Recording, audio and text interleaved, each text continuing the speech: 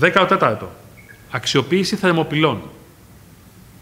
Στις 12 Ιουλίου 2022, μετά από συνεργασία των πολιτικών ηγεσιών των Υπουργείων Οικονομικών και Πολιτισμού και Αθλητισμού και του Δήμου Λαμιαίων, θέλω να ευχαριστήσω αυτό το σημείο, το Υπουργείο Περιβάλλοντος και Ενέργειας ενέταξε το πρόγραμμα παρεμβάσεις με στόχο τη βελτίωση του αστικού περιβάλλοντος και του δημόσιου χώρου το έργο «Αρχαιολογικός χώρος των Θερμοπυλών». Το έργο αυτό αφορά βελτιωτικές παρεμβάσεις ήπιας ανάπλασης που αναλαμβάνει ο Δήμος Λαμίων και αποκατάσταση στερέωση και ανασκαφικό καθαρισμό του ιστορικού τείχους των Φωκαίων που αναλαμβάνει το Υπουργείο Πολιτισμού και Αθλητισμού.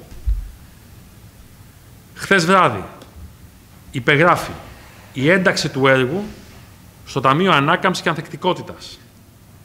Μαζί με αυτό πέρασε από την Αρμόδια Επιτροπή και το έργο της ανάπλασης της Πανελλήνιας Έκθεσης Λαμίας.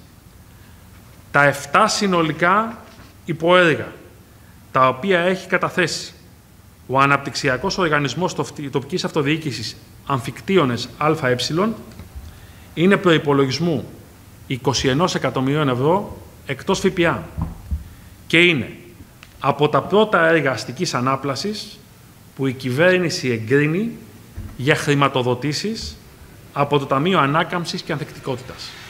Η σχετική απόφαση θα δημοσιευθεί σήμερα. Και στην πρώτη φάση, επαναλαμβάνω, για έργα με τίτλο «Βελτίωση του αστικού περιβάλλοντος και του δημόσιου χώρου» περιλαμβάνεται τόσο η ΠΕΛ όσο και οι θερμοπύλες. Και είμαστε στους πρώτους δήμους και νομούς μαζί με τον Δήμο Ηρακλείου, Τρικαίων, Νέας Προποντίδας, Καρδίτσας, Ιωαννητών, Φιλής, Ελασσόνας, Βέρειας, Αχαρνών και Θεσσαλονίκης.